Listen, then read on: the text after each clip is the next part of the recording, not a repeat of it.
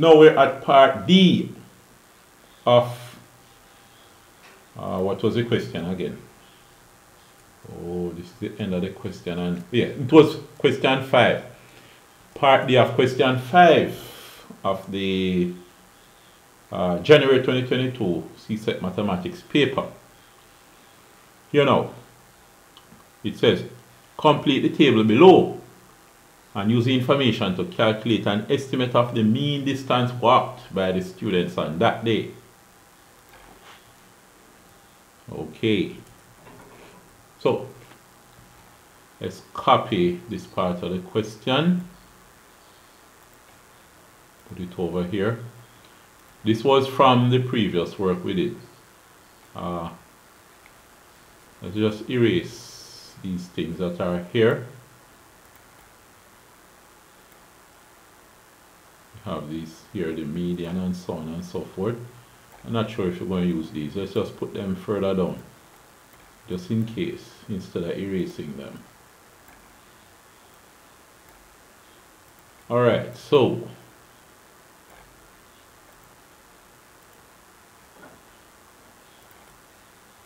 you know I think it would be good if we in if we expand this table so that we can have enough space to write.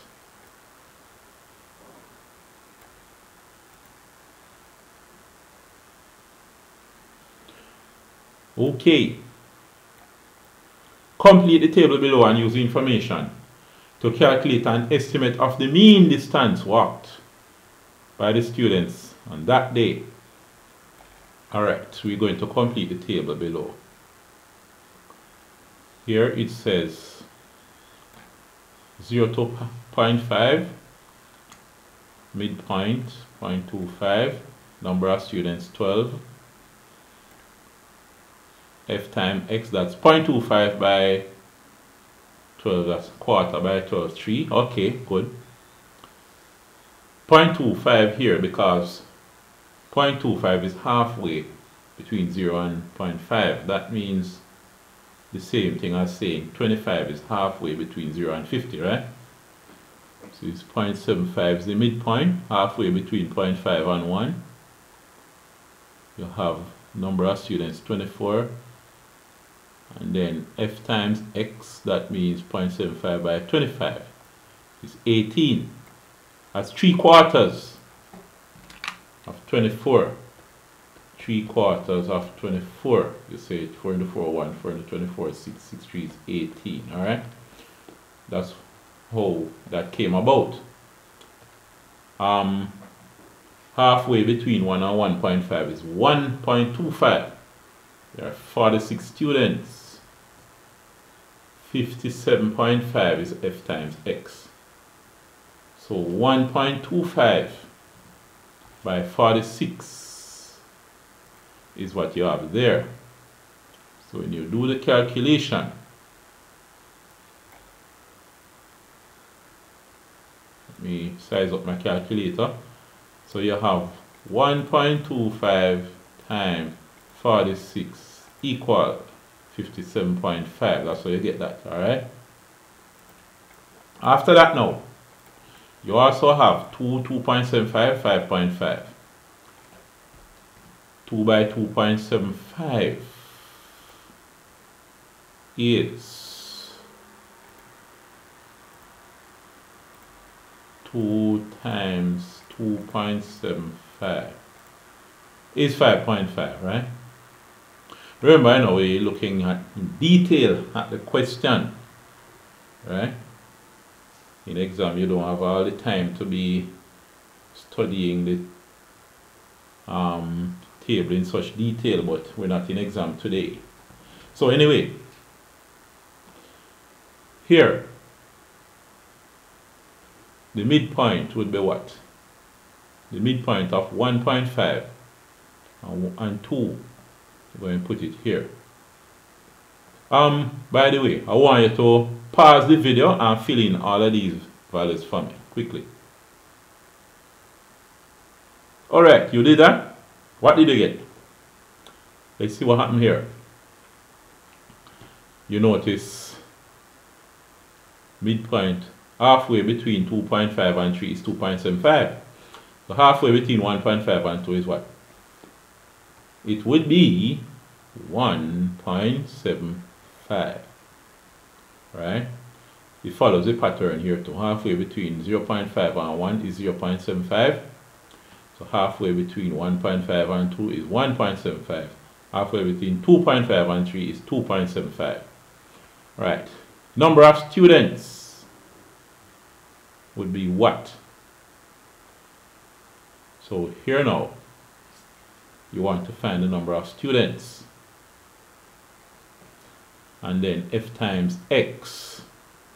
Let's look at the graph here. You have 0.5 and 0, 12 students.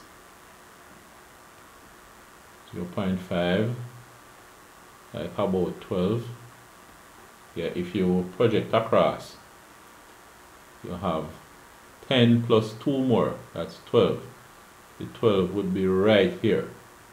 You see that? Then the 0.75 is 24 students. So at 0.75 0.75 would be about here.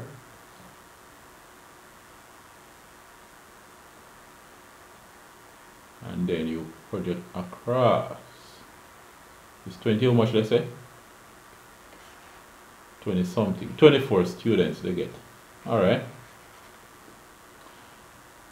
and notice here I said before halfway between point 0 and 0.5 would be 0.25 right here. Halfway between 0.5, halfway between 0.5 and 1 would be right here, which is 0.75. You see that? Then 1 to 1.5. 1 to 1.5. Halfway and then 1.5. So this point will be 1.25.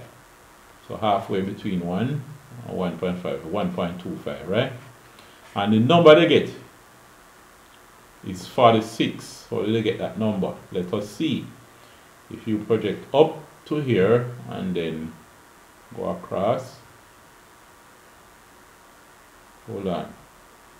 Let's say 1.25 46 number of students 1.25 it says 46 why 46 if you go 1.25 you know.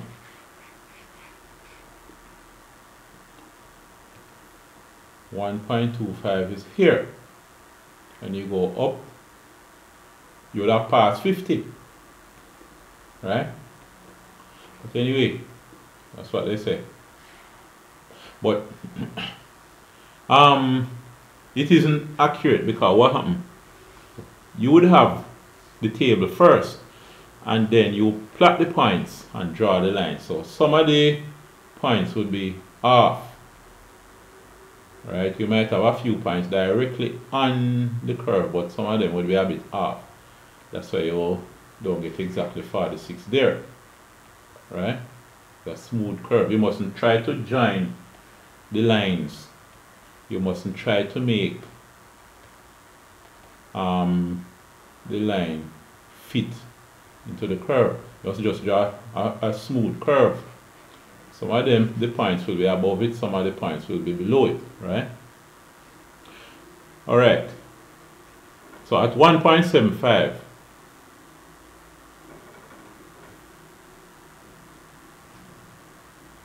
would be here.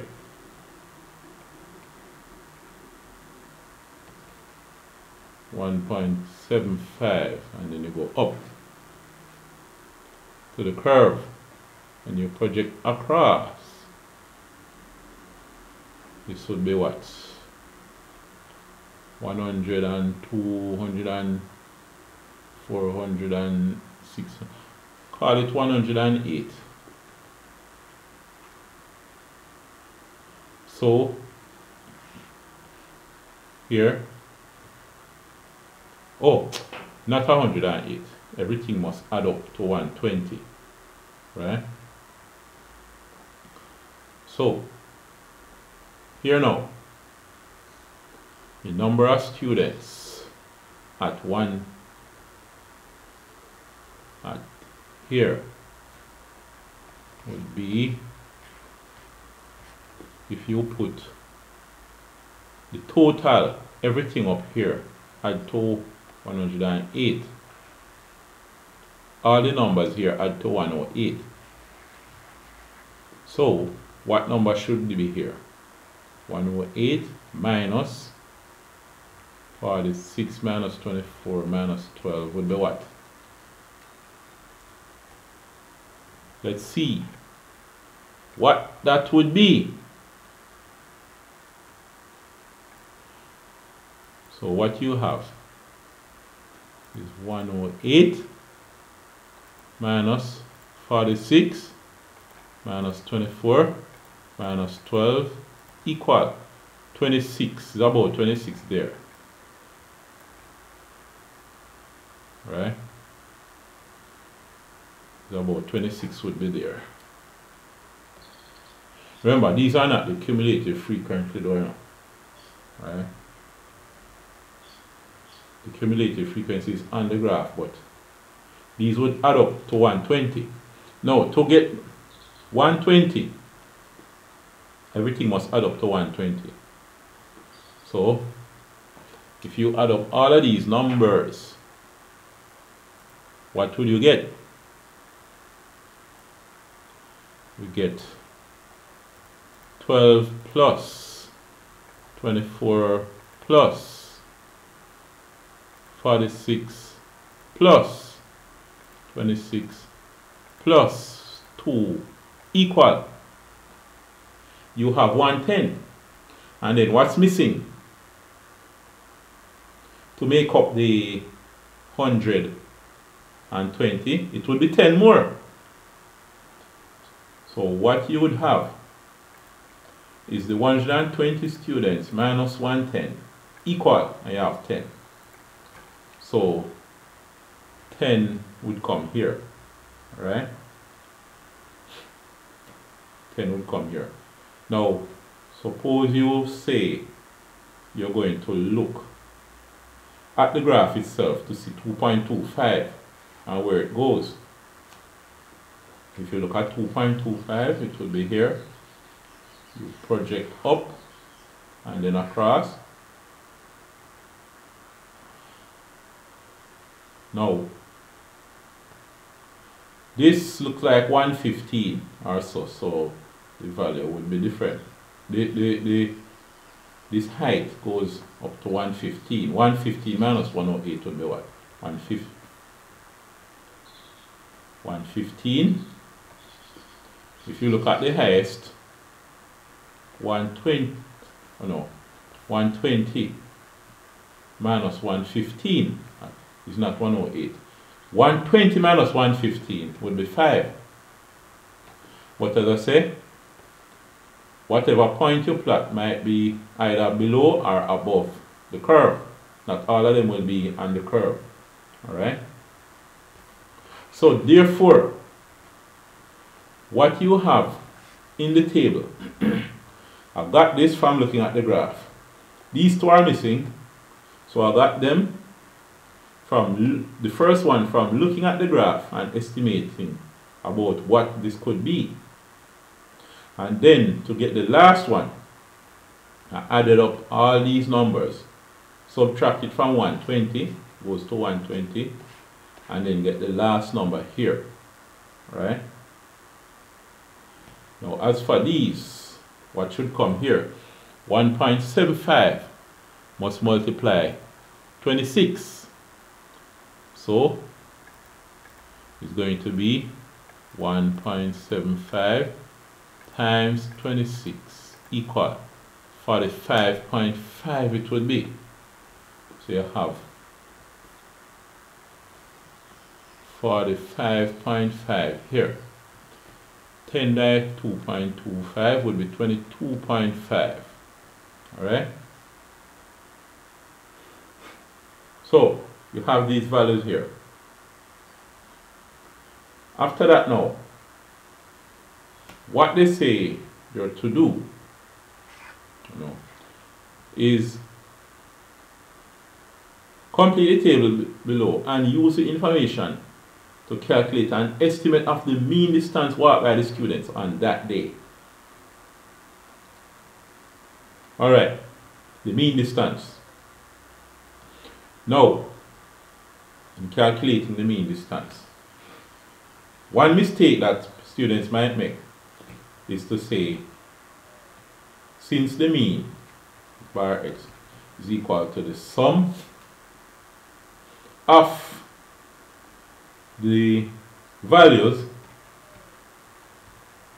over the total number of values, they would then say, what do I use as the value? It would be the midpoint. So they add up the midpoint and say 0 0.25 plus 0 0.75 plus 1.25 plus 1.75 plus 2.25 plus 2.75 and then they say there are 1, 2, 3, 4, 5, 6 of them and divide by 6 but that would be wrong right that's a common mistake that students make but that is not the, the way right what happens is this you see they use a midpoint to represent the range of values in kilometers no problem. But here now, you see the 0.25? There are 12 of them. Right? 12 of them. So it's the same as saying 0 0.25 plus 0 0.25 plus 0 0.25 and you have 12 of them. But instead of adding like that, you just multiply the multiplication has been done for you. You get 3. 12 by 0.25 is 3, right? So these are the numbers that you must add up. So you get 3.0 plus 18 plus 15.5 plus 45.5 plus 22.5 plus 5.5 and by the way you notice they say to get the estimate of the mean. is not the exact value you're going to get because from a graph. Alright, so you have that. Now what are you going to divide it by? No, it's not going to be 6. The number you divide it by is the total of these, which will be 120, 120. So divide by 120. Reason? Because you see this 0.25, there are 12 of them. Then this 0.75, there are 24 of them. So, so far, you have 36 values plus 46 more values and so on and so forth. And you add them up, you get 120 values, right? That's going to be the mean. So you say the mean equals. Alright, let us do the calculation here.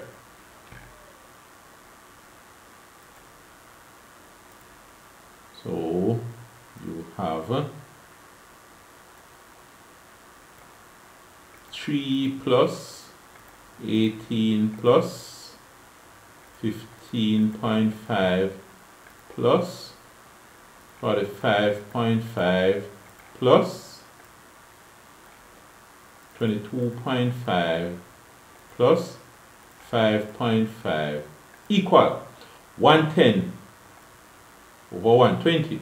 You divide by 120, you get a mean of 9.17. Right? 9.17 kilometers. Um, so, oh, where, where did I get 9.17 It's 110 over 120. Where did I get that from? It looks strange. I know none of them would walk all of that distance. 0.917. 0.917. I don't know why I put 9.17. Wait. 0.917 kilometers. Right. So, 0.917 kilometers is the average. Right? The, the mean distance walked. Alright. So that is the end of question 5. Question 6 is next.